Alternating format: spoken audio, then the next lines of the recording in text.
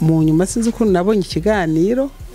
Cagushavuje umusheri yakuriye umutima. Twavuye ingozi mva mu kayanza tuva ruguru. Twarahuriye muri semarike urabyibuka igihe byose urabyibagiye. Juma Jux kati kiganiro mugabo santa tubanze dusubire inyuma tubanze ivyo none oya vy'ukuri oya muhungu burya ntimukundana. Yo njye ntidukundana murakundana ntavyo nene Eh, none murakundana ni igiki kikomeza ko dukundana oya murakundana none oya ko mwihakana ni kimwe mugabo ndazi ko mukundana. Ndazi umunsi umwe nzobona muri babiri. Muriko muratwereka ibindi bintu. Mu ihuriro tv eh, hamza uramuzi yaravuye mu ihuriro tv aya n'amakuru dufise. Kuja mu bintu ukabivamo n'uburenganzira bw'umuntu. Mugabo ukabivamo neza gusa. Kuko nimba hamza afashe decision yo kuvayo ni uburenganzira bwiwe. Je niba nico nibaza. Kwigenda rya starboy eh, hari ibiganiro yavuze avuga ngo yuko mutamuhaye umugisha ngo ngo ngo mwamuvumye. Gusa ndibuka ahantu twahuriye ahantu hamwe ndamubaza starboy kubera iki wagiye udasezeye. Kandi vraiment reka ndabivuge avyumve ndambwira starboy naho umwana yoba ashaka kuva muri active namwe muvyumvireho n'abandi bavyumvireho sezera tugusohore nk'umwana uvuga uti je ndakuze ngiye gukora ivy'iwanje tugusohore tugutera iteka n'abantu babone bati umwana afise iyo yarezwe.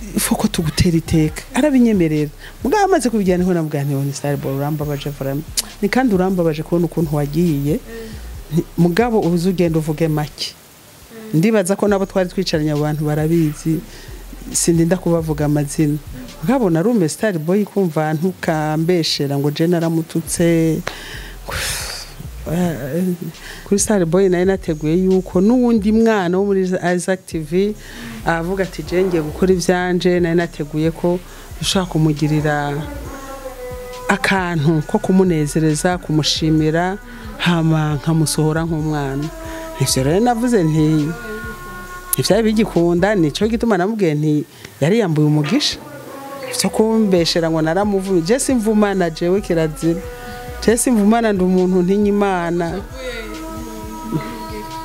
nubwo ushavura ntibirashika ngo oya sinovuma umwana kirazira wewe uvuma umwana uri umuvyeyi ukamwima umugisha kubera iki mugabo hari ivyo umuntu yiha n'ivyo yiyambura Isaac TV. Oh. Euh, bonjour, bon après-midi, bonsoir. bivanye n'aho muherereye mwebwe mwese bakunzi ba Isaac TV muraho mumeze neza je ndameze neza ndashimana nk'uko mubibona so no munsi rero turi kumwe n'umuntu atavugwa mu izina atwa ndaryohewe nawe bweje ko nkunda iyo nkoranye n'abantu cyane cyane bakuze Eh, ndaryoherwa reka kwanza mbanze ndamuramutse ni sawa ego n'amahoro urakomeye gasana Eh, ego ndashima.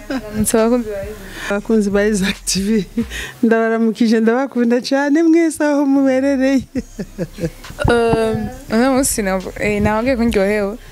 Eh, kuri mikro nk'uko mubibona ni muco centre latayita brand camera joma jokes. Ati no munsi rero ni gute ya turaza kuganira ibintu byinshi. Eh nawe murabona sinibuka umugani uri aho bavuga.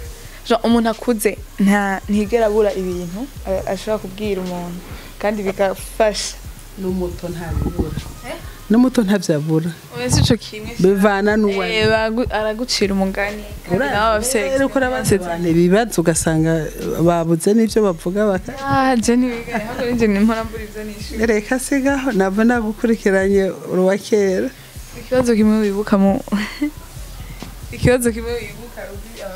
Reka ntacyo nibuka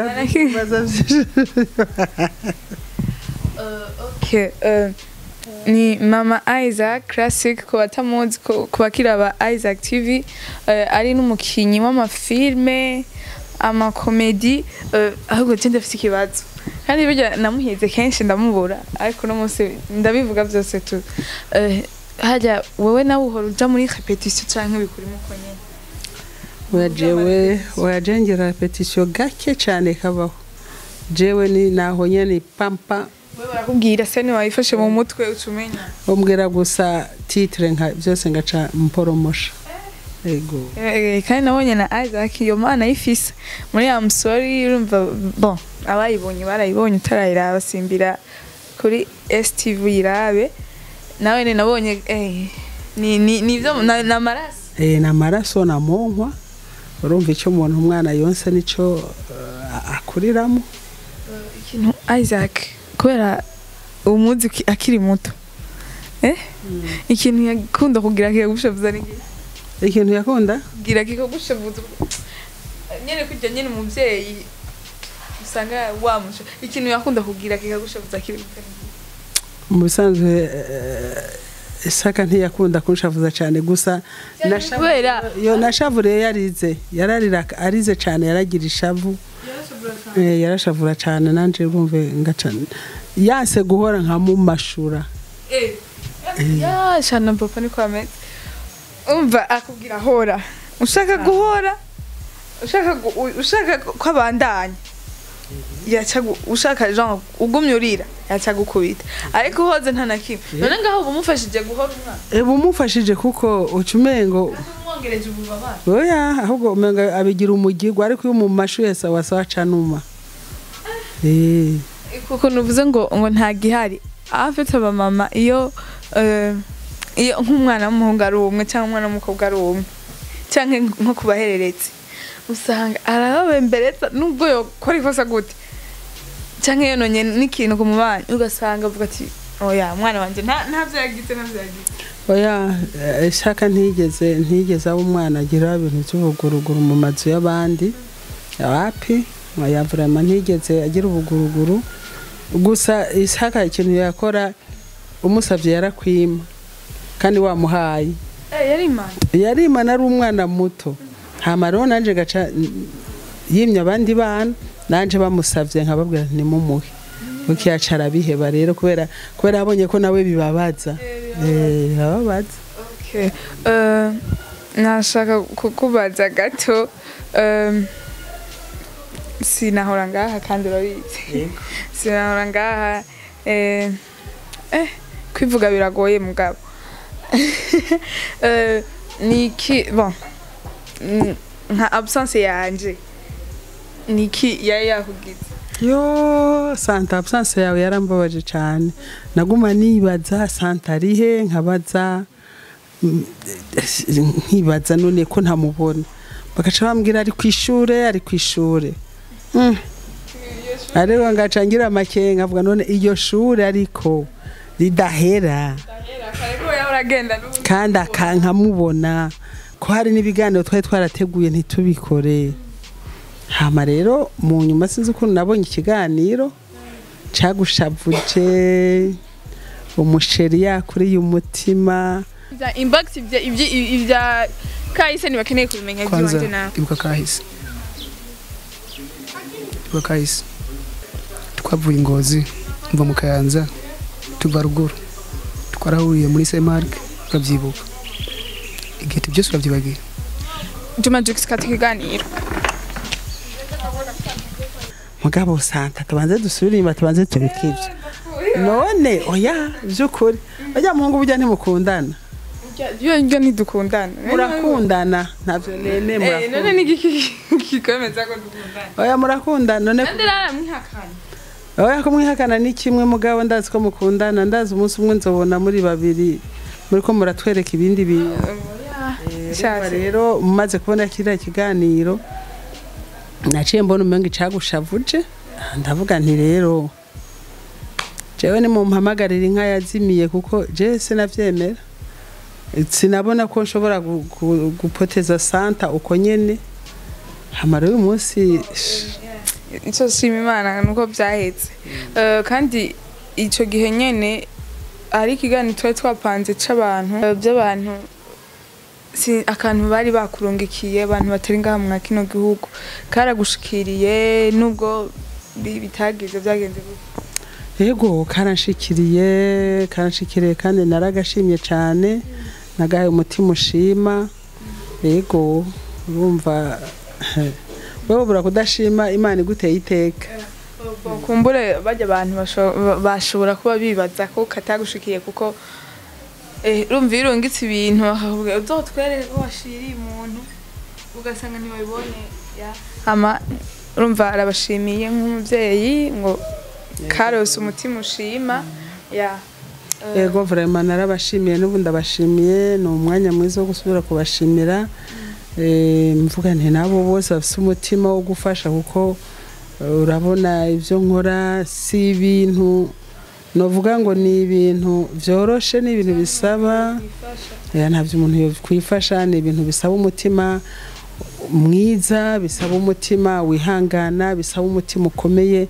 Kandi urabona ko ni ibintu bisaba ingufu nyinshi ni cyo gituma bisaba yuko umuntu wese afise agatima keza afise umutima wo kwiyumvira ati imana ije izombaza ndayishura iki? Afise uruhara rwo kuza natwe kwifatanya na twebwe. Yego. Eh, karibu n'abandi bose. Murazi igikorwa afise co kurerera igihugu. Eh, ufise umutima um, ahubwo ndafise ikibazo.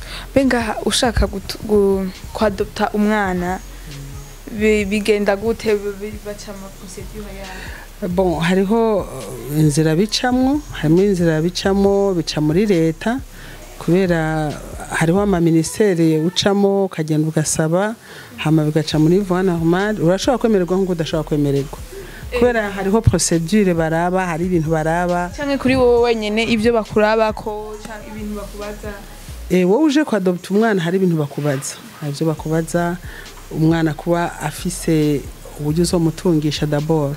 Uko umwana uzomutunga uko uzomwigisha namara gukura ko ategerezwa kuba afise inzu yiwe aba afise nimero do konte yiwe. Ni byinshi hari ibintu byinshi baraba. E, kurumva rero bi- bica oya ntibaguha umwana ntibaguha umwana. Hanyuma rero ivyo ni ivya leta. Amaje nanje nkaraba education y'umwana. Ahagiye hagiye education ihari hameze neza. Leta irashobora kwemera je nka? Leta Umwana- eh, kuko mbanza kuraba umwana wanje ndamutanze uwo mwana azoba afise education imeze gute. Eh, kuko uwo muntu ashobora kuza ari umuntu gusa akeneye umwana mugabo uraba inyifato yiwe ugasanga ntijanye. Ninge uwo mwana nifuza ko azoba ameze muri kazoza. Eh, none nabo abo uba wareze bobo arashobora no gukurira ariko bikanga genre ibyo wifuza bikanga ego ariko imana imana nguma ndayisaba ntibirashika ntibirashika ariko eh, ntibirashika ko umwana nobona ko vyanse hamwe mbona umwana ya- yaguye ande bandade nguma nyene namama nguma ku mavi nguma nsenga hama nguma mbigisha cyane cyane gusenga kuko uyu mwana asenga hariho ibindi bintu atajamwo. Eh, ivyo rero mugabo ndasaba imana kugira ngo ntibize binshikire ariko kandi bishitse ni bisanzwe kuko umwana ashobora kukunanira mugabo bitakuvuyeko. Wakoze ico ushoboye wakoze ahubwo ibishoboka. ubuze ikintu cyo kuvuga ati nsanze education idahuye n'uko nshaka. Na cyane cyane nk'abantu mudasangiye kwemera nabo. Nk'ubu kujya kuntu kuko mpora ndaba abana baramenyereye vraiment gusenga gusenga nyene nk'uko kisilamu rero nk'umuntu mudasangiye kwemera biroroha nubwo byose biba bikwitije byakoroha kumutanga Bo, mu by'ukuri umwana nta ntagira idini mugabo umwana nk'umwana amaze gukura nawe ntiyovyemera. Nawe ntiyovyemera kuko ntashobora kuvyemera. Nk'ubu ukamubwira ngo agende yambare nk'ijipo ya santa ntashobora kuyambara. Aho rero we nawe ubwawe vyokugora kuko kuko ntushobora kumwedika ngo akure eh, ivoire ku mutwe navyo yokwemera. Mugabo akuze ari muto urumva agakurira muri ivyo usanga ari vyo akuriyemo. Hama mu bisanzwe atakubeshana twebwe ntituraba idini ntituraba intara ntituraba ubwoko. Hari abana b'ubwoko bwose hari abana b'intara zose bava mu, mihingo yose. Twebwe rero turaba gusa education turaba umwana education ashobora kuba afise. Mugase no kubesha ngo noha umwana umuntu yambaye ijipo nk'iyo. Ya santa. Ntayo nomuha asha- ivyo n- kubera iki none kubera ntibikunda. Imana ivuga iti abakenyezi twikwize abigeme twikwize ariko no kubera ukwemera kw'iwawe ntavyo no guhora ariko je nk'ukwemera kw'iwanje sinoha umwana wanje nugo ejo nzosanga yambaye izi bizombabaza uyu munsi wowe ushobora kuba wambaye izi ejo akambara izigera hejuru y'izi. Ushobora no kuba nambaye izi wowe wakambara zirezire ntibikunda. Kandi we style yawe nawe ari ya rega style yanje si ngombwa ngo nce ndayibwira n'ubundi ngo bari yakurikiza Eh, none nk'umwana wadopsa umwana uba ushaka kugera kuri style yawe. Hanyuma urumve gica kiba ikibazo ahubwo nawe bon nk'uwundi nawe iyo akuze ukabona birya bintu na byo akunda jean byaba musulman.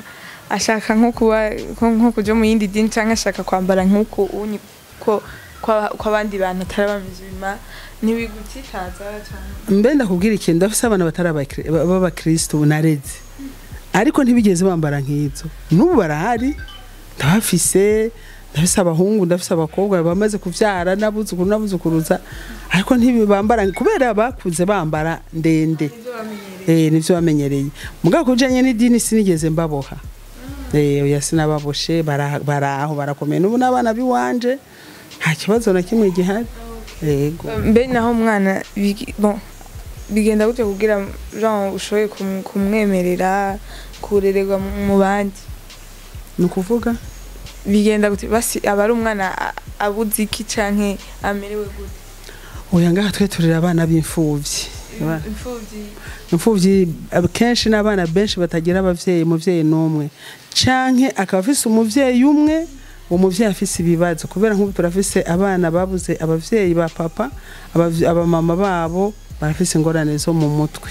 Urumva abo rero kubera ko twebwe tu- turafasha abana mu- muri kategori zitandukanye tukaba dufasha n'abana bavukira mu maprison canke bakurira mu maprison ni ukuvuga ko hariho abana usanga barakuriye mu maprison ugasanga hageze igihe hariho imyaka leta yashize ko umwana adashobora kuguma muri prison.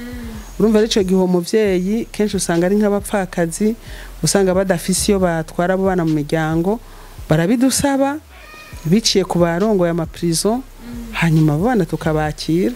Ariko umuvyeyi w'umwana afuye avuye mu gasho umuvyeyi turamuha umwana wiwe. Kubera mu objectif yacu birimwo niko niko bimeze. Eh, tugiye gato ku kwigenda rya starboy. Eh, hari ibiganiro yavuze avuga ngo yuko ngo mwamubwiye ko ngo mwa ngo muta- mutamuhaye umugisha ngo ngo ngo mwamuvumye. Nkuko kuko hari ibintu byinshi yagiye aravuga nka Isaac Isaac akavuga ibi bintu si byo je ntabyo nzi nawe bimeze gute? Ahubwo je ndavyumvise narumiwe. Ni ukuri narumiwe ko starboy yarandengeye akarimbi. Gusa nuko ndi umuvyeyi w'umunyakigongwe. Ubundi starboy nari kumwitwarira kuko yarambesheye. Gusa ndibuka ahantu twahuriye ahantu hamwe ndamubaza starboy kubera iki wagiye udasezeye. Kandi vraiment reka ndabivuge avyumve n'abandi bose ba- ba- banywanyi ba Isaac TV n'abandi ma, ma television line y'aba jeune ko je akazi kanje no gushigikira urwaruka. Jewe nari namubwiye starboy ni nk'uko nshaka kubibwira santa uyu munsi nkabibwira juma yavuze ntumwana yakuriye muri Isaac TV tukaba twarashoboye gukorana neza kuko ntushaka kurera umwana adakura. Ico coco ntigishoboka.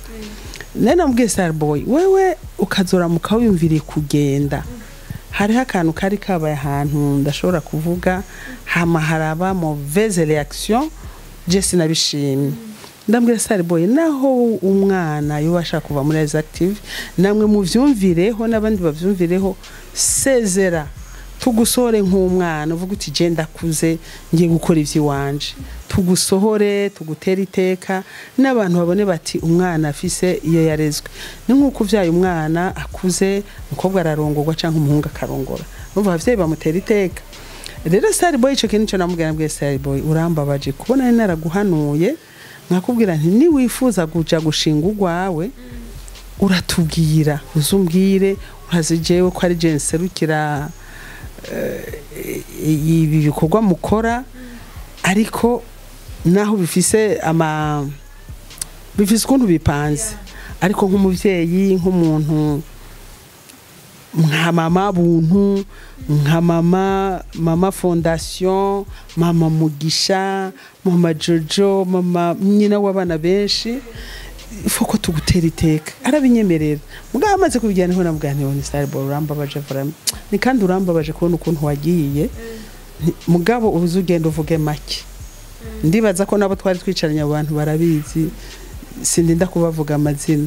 Mugabo narume starboy kumva ntukambeshera ngo je naramututse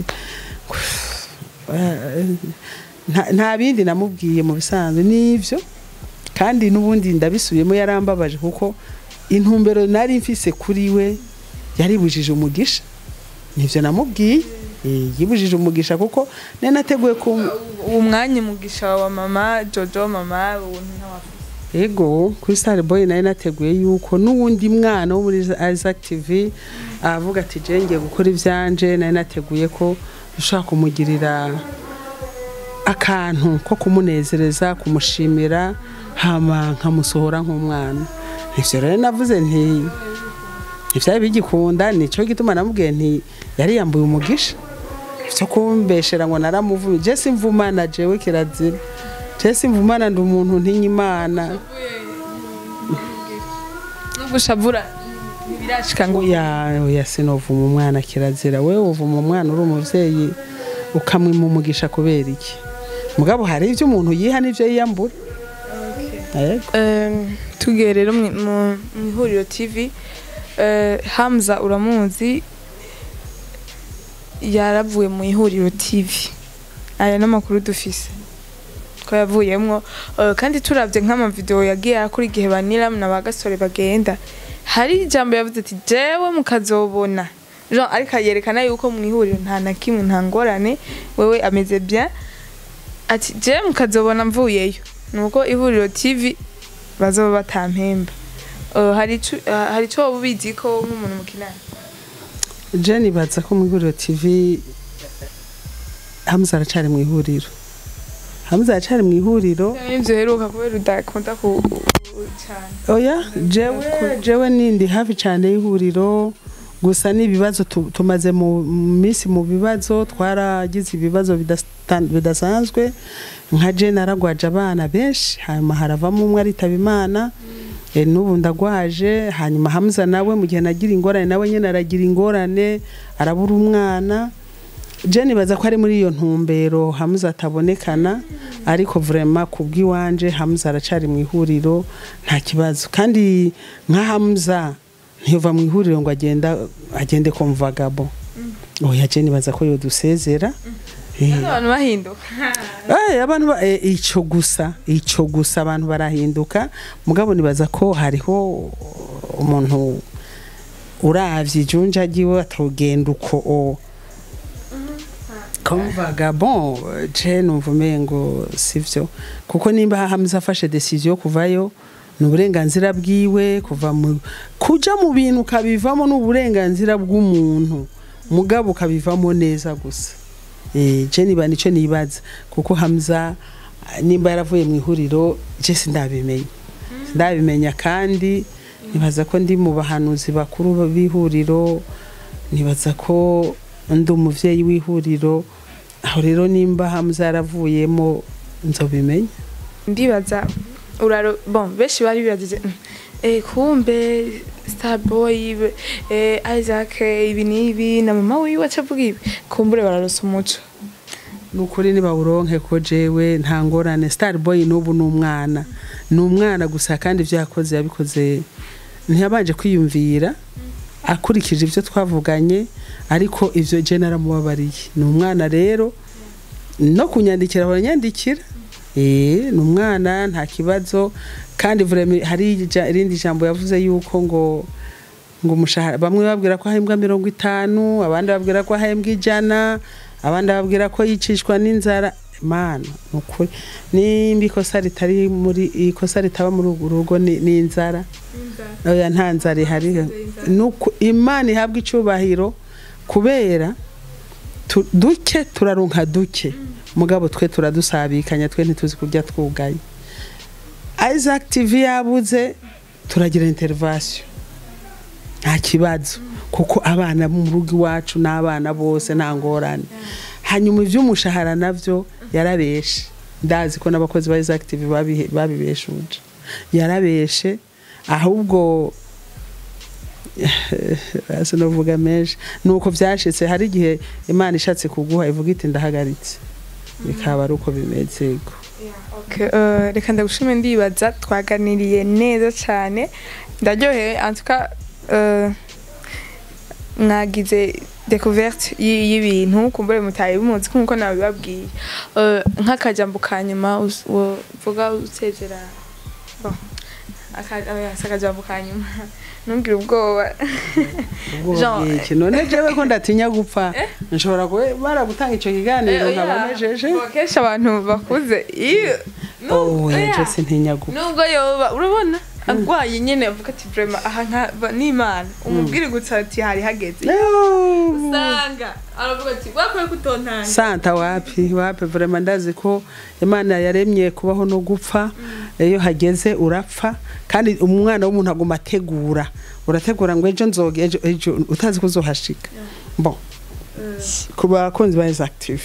Ubwa mbere mbere yo gusezera nuko mvuga nti ndashimye cyane kubona asubiye kubona santa muri Isaac TV eh, yaragarutse hanyuma nkamwifuriza kuroranirwa nkamwifuriza nkabifuriza mwese abakozi ba Isaac TV ko mutera imbere nk'umuzinga hama nkabifuriza ko mutova muri Isaac TV nka Starboy. Muzoveyo nk'abantu mu- mu- mu- mufise icyo mwamaze hama bazo bavuga icyo mwamaze hama bazo namwe muzivuga icyo muri. Kuko burya urabona ko niyo twavuye ego ego ego cyane fo kumenya aho uvuye ukamenya uri kuraje uzi urabe mu gihugu ubu turibuka incungu za demokarasi uh, wiguze uburundi rwagasore ya- yaro- yarondeye independance urumve hari n'abandi bagenda abantu bari barondera kwibuka abantu bafite ikintu cyose bamaze mu gihugu cy'u Burundi. Urabyumva rero bivana iki? N'umuntu n'ubuntu. Iyo ugiye ahantu ukahaba- ukahabana ubuntu ukahavana ubuntu baguma bakwibuka. Kavuga bati harabaye. Urabona ko batubwira ba ntare rushatsi cyambara ntama bande urumva ibintu nk'ivyo numva hari ibintu byiza bakoze inyuma yabo uragenda ugasubiza ubwenge ukavuga ati yo masikini harabaye abantu bakoze ibi n'ibi ni byo rero mbifurije hanyuma nkavuga nti abakunzi ba Isaac TV bagire spu- subscribe. Ego na sabone. Hanyuma byose na like na share kugira ngo vraiment Isaac TV dutere imbere. Murabona ko dufise turafise akazi kanini muri Isaac TV turafise abana ugwaruka mu minsi iri imbere murashaka kumva n'abana bafashe amamikoro ngaha bariko baravuga eh, ivyumviro vyabo utuntu nk'utwo umva rero badushigikiye bazoba badufashije cyane murakoze. Mama nanjye ikintu navuga ko ibyo uvuze byo ku- kugenda n'ubuntu twese turabyifuza ariko nk'uko wavuze nta muntu n'umwe adahinduka. Santa ntuzuhirahire guhinduka ngo ugende nk'umuhimbiri. Oya bo. N'abanywanyi na- urazi ko n'abanywanyi bawe bobabara? Eh urabasezera ntuzu oya ntabyo ntacyo nabivuga ko kuko ni hamwe. Kivuge. Oya aho onye ni hamwe. Bo nanje nivyo nipfuza ariko mvuze ati urumva nzogenda uku nuko ni hamwe. Uzosanga bon bishitse. Mhm. nibize bishika ugasanga urumva sinkunda sinkunda kuvuga ikintu nyene ntazi ko ntazoshitsa nivyo ariko rero imana ivuga iti icyo ushaka kuba nicuba ushatse kuba inka uzoba inka. Ushatse kuba imbwa uzoba imbwa. Ushatse kuba umuntu uzoba umuntu. Ni ukuvuga rero wewe ndabifurije abana bo muri Isaac TV ni ukuri umwana wese azavuga ati jewe swati ushobora gukoroga ko- nako vy'akazi. Ivyo birumvikana. Ni uburenganzira bwawe. Uzubwire abagukoresha. Ni ukuri yamara ndabona hari kitagenda neza. Nubona vyanse uzunyikoreko ndazi ko. Nzogira intervention rapide. Bishoboka vyanka bikunda ku buryo ibintu bigenda ku murongo. Ndasubiye kubisaba yuko nta mwana wo muri Isaac TV nifuza ko yagenda aciye mu gifuri. Ejo abantu bose bavuga ngo mbe santa yaciye ngo oya santa yaciye mu irembo byagenze neza hanyuma mubandanye mumushigikira ahari. Okay reka tubyizere ko nyine ko ariko bizobaho imana ni Bizogenda igitangaza. yeah, so abakunzi ba Isaac TV reka ndabasezerere ndabakunda cyane Eh, mubandanye mudushigikira murabizi nimwe ba boss bacu mudahari natwe ntitwaba duhari Eh, gira subscribe utarayigira kugira ubandanye ubona ibintu bimeze neza cyane Eh, utaragira comment dusigira aga comment ntacyo bitwaye ikiganiro kikuryohere sharinga n'abandi kuri mikoro rero yari muco centre la behind camera Juma Jokes ciao ciao I- I- I- Isaac TV. Oh.